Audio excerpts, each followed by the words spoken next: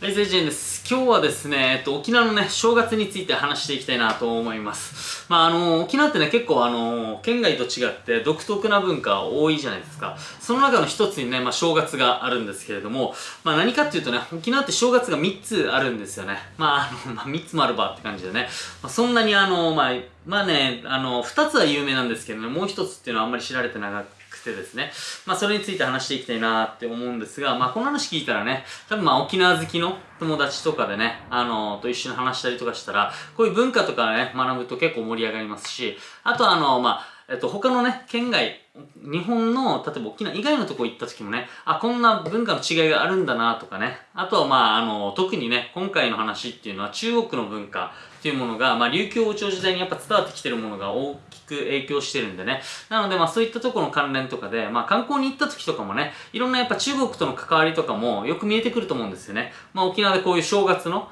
あの、催し物っていうものをよくやってるのは、まあ、中国の影響があるんだなとか、まあ、もっと言うと、あの、沖縄の、まあ、先祖をね、あの、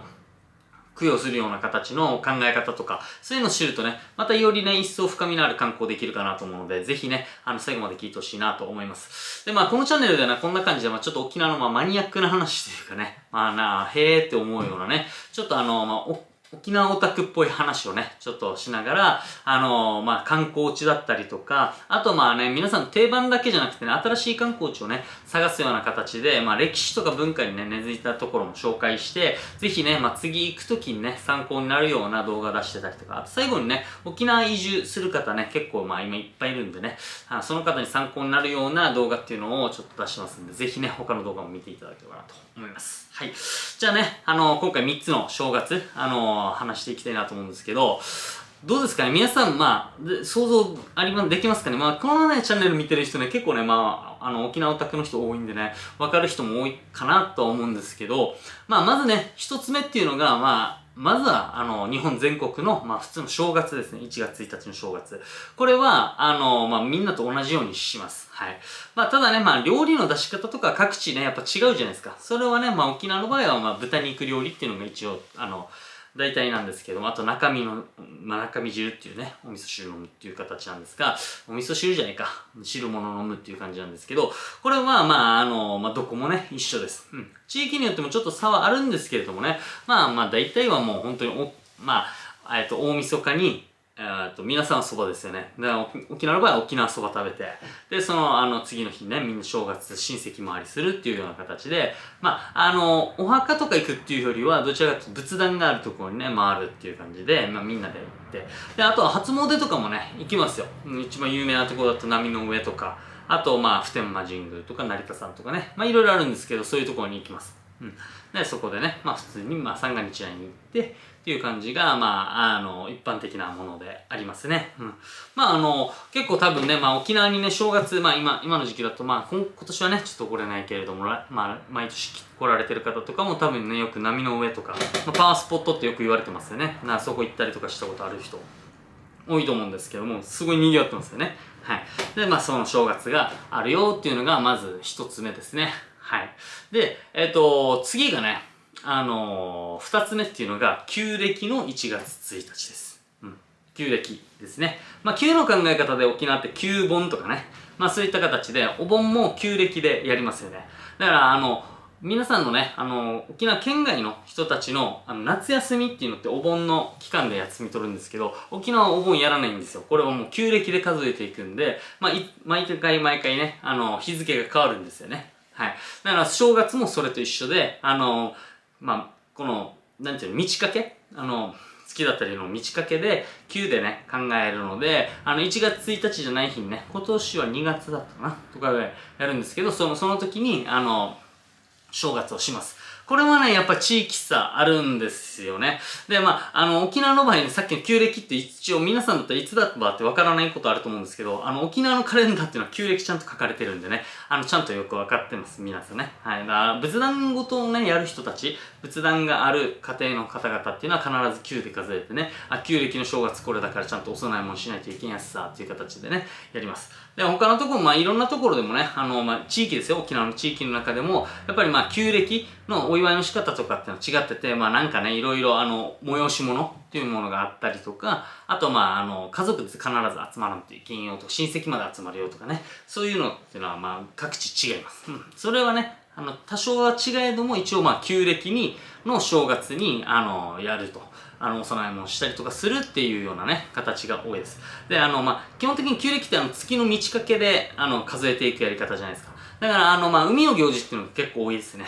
海んちの人たちがやる行事っていうのが多いので、まあ、あの、糸満とかね、うるま市とか、あの辺とか、まあ、あと離島ですよね。海があるところ。海んちがいっぱいあるところ。そういうところっていうのは結構催しも多いよっていう感じですね。はい。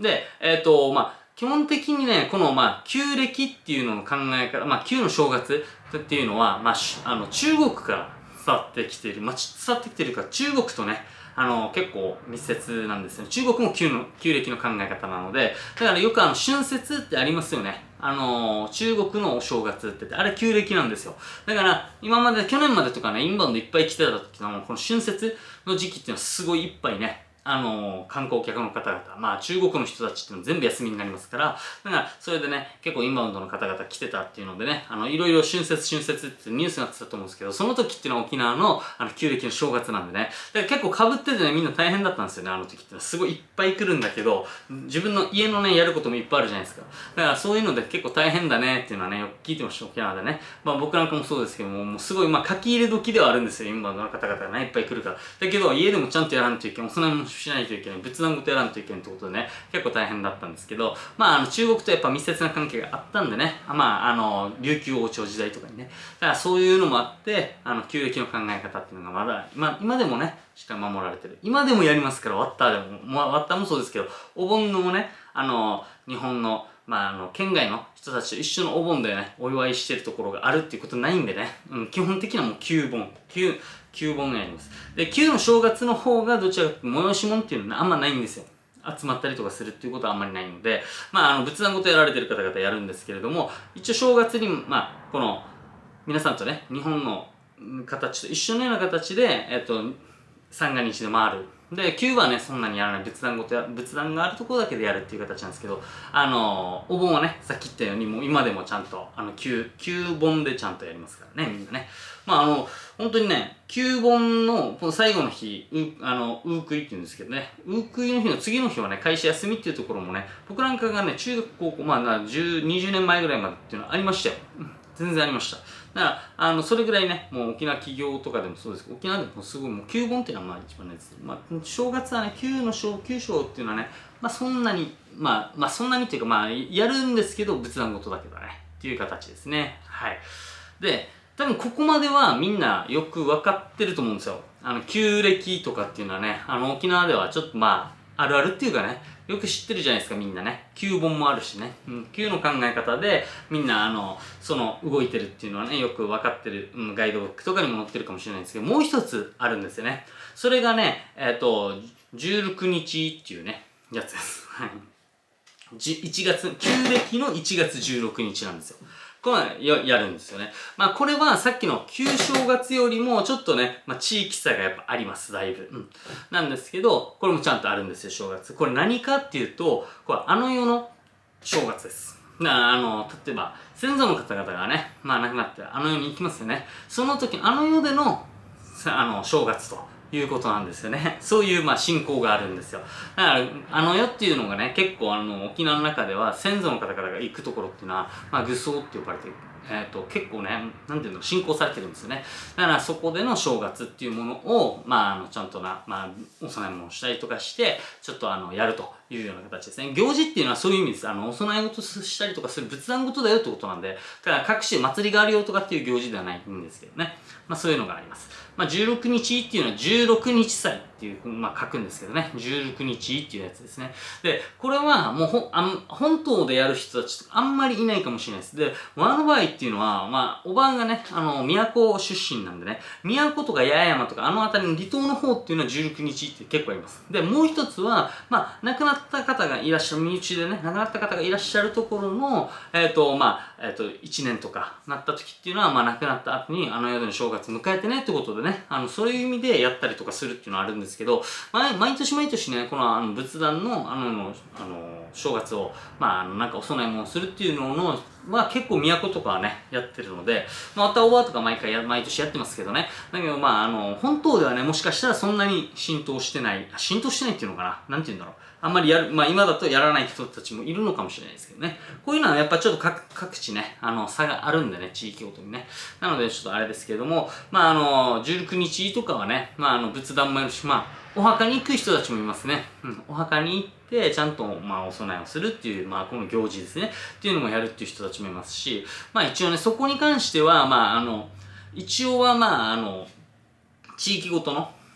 あの、やることっていうのがあるので、まあ、ちゃんとは決まってないんですよ。こんなやってやりなさい。こんなもんお供えしなさいとかっていうのは、まあ、全部が統一されてるわけじゃなくて、まあ、地域ごとでね、みんなが、あの、まあ、受け継いできたものっていうのがあるので、それでやってるんですけど、まあ、あの、こんな感じでね、あの、3つの、あの、正月があるよっていう今日はお話でした。はい。まあちょっとね、やっぱ独特ですよね。っていうのも、旧暦っていうのは中国だし、まあ、あの、この日本のね、一番最初に話した最初の日本のやつっていうのはまあ全国ね、一緒ですよね、日本で。で、二つ目っていうのは中国でやられて、まあ中国と一緒のような形の旧の考え方で、その三つ目っていうのはね、まあ沖縄独自の考え方、先祖供養っていうのはね、沖縄、あの、信仰が一番なので、そこがね。なので、そういう考え方っていうのが、まあ、ミックスされてるような形で、あの、まあ、正月があるっていうことで、まあ、だからね、年明けで忙しいんですよ、あの、仏壇持ってる人ね。まあ、長男の話でもね、しましたけど、やっぱ仏壇ごとっていうのはね、すごい重要で、沖縄では。結構まあね、大変なことも多いんですけどね。まあ、こういうふうに、あの、旧暦でね、あの、さっきやってみたように、まず一つ目が、まあ、いや、旧暦だけじゃなくてごめんなさい。えっ、ー、と、まず最初が普通の正月ね、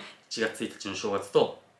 旧暦の1月1日の、えっ、ー、と、正月。で、これいつになるかあれですけど、あの、毎年毎年変わりますから、それと、あとは、えっ、ー、と、旧暦の1月16日の16日っていうね、あの世の正月っていう、この3つがあるよってことなんで、まあ明日からね、またあの、なんか友達とかと話したりとか、沖縄好きの人たちと話したりとかするときに聞いてみたりとか、あとこの時期、その時期に来たら、結構ね、まああの、えっ、ー、と、お休みのところもあるかもしれないですよ。あの、お店個人でやられてるとか、まあ、例えば国際の裏裏手とかね、やられてる、あの、実際みんな、あの、この、家族でやってるというようなところっていうのは、ちょっと休むとかっていうのもね、あるのでね。まあ、あの、まあ、そんなには多くないんで、まあ、気をつけてねっていうぐらいじゃないですけれども、そういう時があったらね、あれ、これ、もしかしたら旧暦の正月じゃないかとかね、あと、あの、そういうのもある、話のネタになると思いますんで、ぜひね、あの、まあ、違う地域行ったりとかしても似てるところはあるかもしれないし、中国行った時とかね、旧暦、もちろんね、それで動いてますから、まあ、そういったのもね、関連してるんで、ぜひね、まあ、あの、沖縄の文化、歴史してね、また観光来た時にはより深い観光できるように、また、あの、参考にしてほしいなと思います。はい。まあ、こんな感じで他の動画でも、まあ、旅行とか移住とかも話してますし、あと YouTube ライブもね、あの、2021年からやろうと思ってるので、ぜひそちらの方も見ていただければなと思います。はい、今日は以上になります。